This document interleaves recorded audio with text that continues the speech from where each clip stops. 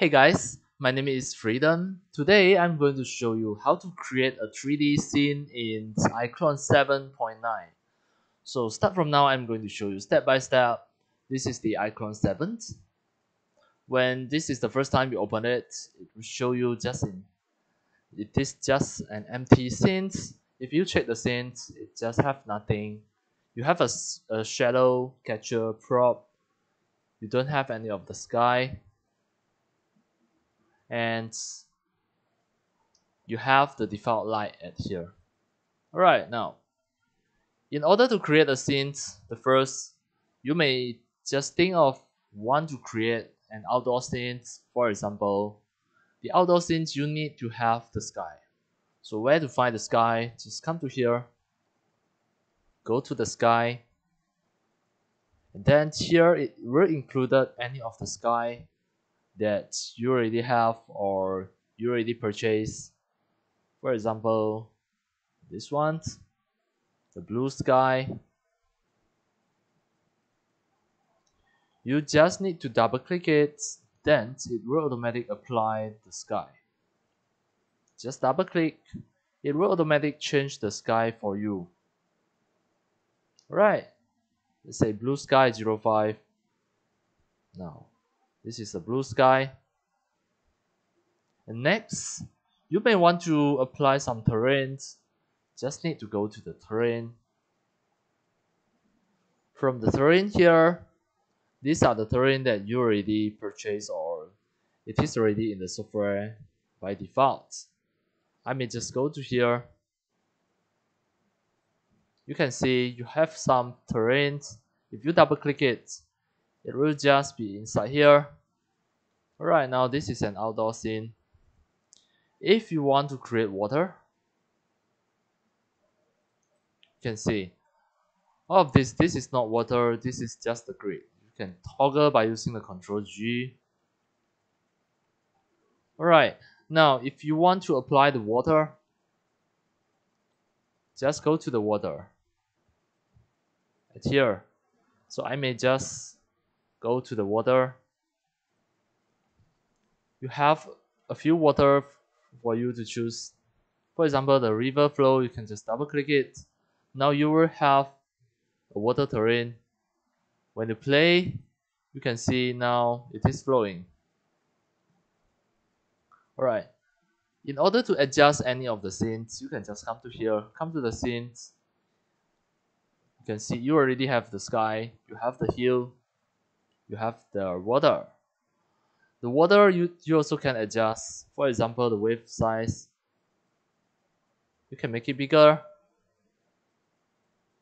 Or you can make the wave size just to be small. You play the water speed, the wave speed. Now you can see it have certain speeds. You also can make it flow faster. Alright, now next what else? The water size, the water height, you can just, for example, if you put 20, it will be lower. If you put 0, if you put negative 100, negative 500. See, you can adjust the height of the water. Just to adjust from here, Remember, need to go to the scene, already select, selected the water, then you can adjust all these variable. The height, let's say if I put negative 300, now it is up to you to adjust the water, the water terrain. And also, if you back to the contents, you can choose different type of the water. Just now is the river flow. If I choose a deep flow, it may different the color also have the have a different color. If you play now you may feel you want to change the direction of the water. Yes you can change the direction. Now it's 90 if you change it to become 180 it will flow in opposite directions. See? Just now it's 90 180 0 totally opposite directions. Now it's go toward there. You all can see. All right so that is the water directions 270 then change the direction. For this time I may want to decrease the height. I put it as negative 200 make it lower. It is up to you to make it higher make it lower it is up to you. Right next. You may feel you want to add some plants to add some grasses. Over here. Okay you choose from the grasses. You drag in. It can automatic plant it there. Wait for example here is the origins. I may just want to drag drag some of the grasses here. See? You can apply. You also can start gardening. Then escape. Let's say if you double click this grass wait drag in start gardening then you can just go simply plant some grasses then that is okay. Then press escape. Now here you, you will have some grasses. And then you may want to put some trees here. Go to the trees. It is over here. The total plants. The biosphere collection. The broadleaves you may just drag in any plants any trees it will automatic fit to the terrains you press W you can make it lower. You can drag in any tree. Any tree that you want. You can put any tree here. These are the broadleaf if you want to put a conifers just choose it it will automatic touch the terrain. And you may be able to create a really awesome outdoor scene. Palm and cactus. You can plant anything here. You can move it. You press W.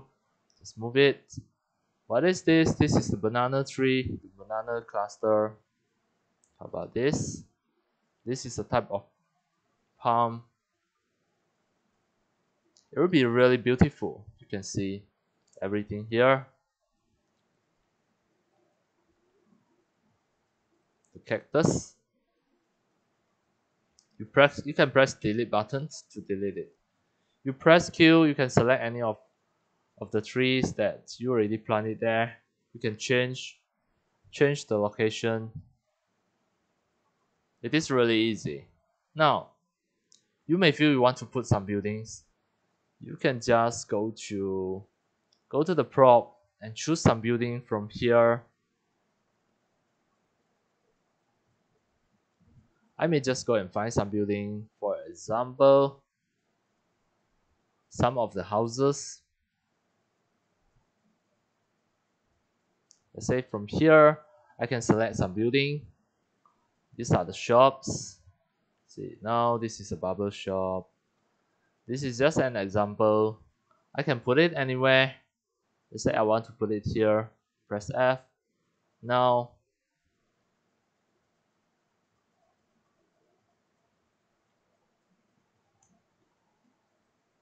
let's say if I want to put this building just drag in. Then you can put any of the building on the terrain then you can press press R to make it smaller. Or you can stretch it if you want. It is really easy for you to do all this. You press W you can push it up and down so that you can fit to the terrain. Alright. That is how how we make it if you double click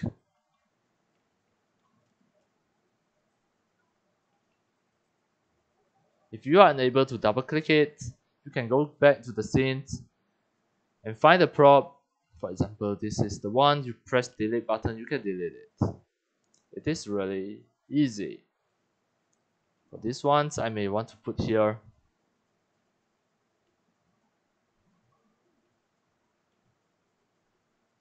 Right, that is that is all the step by step on how to create any of the outdoor scenes in iClone 7 so that you can perform any of the 3D animation at here.